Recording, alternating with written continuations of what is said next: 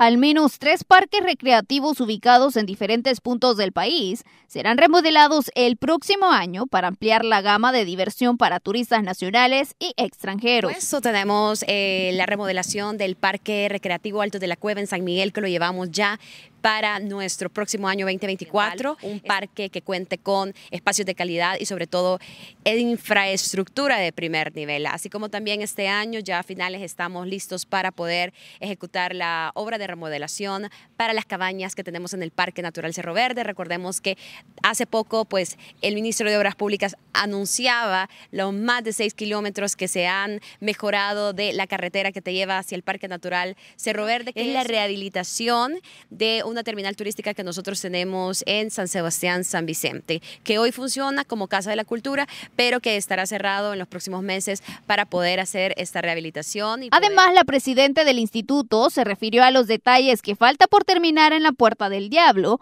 ubicada en el municipio de Panchimalco lugar que según han anunciado ya lleva un 96% de avance de remodelación y se espera sea entregado en las próximas semanas. Eh, los detalles mínimos que hacen falta son los que muchas veces las personas no ven, como tema de electricidad, tema de la, de, la conexión de agua, entonces ya se están haciendo pruebas para poderlo acelerar lo más pronto posible y así las personas ya puedan disfrutar de este destino turístico que ya estamos próximos a anunciar su apertura. En todo el territorio salvadoreño son 14 parques recreativos administrados por el ISTU. A septiembre del 2023 ya se contabilizaban más de 3 millones de visitas y se proyecta que para finales de año esta cifra se eleve en 3.5 millones de turistas. Con imágenes de Carlos Clee, informó Carla Araniva.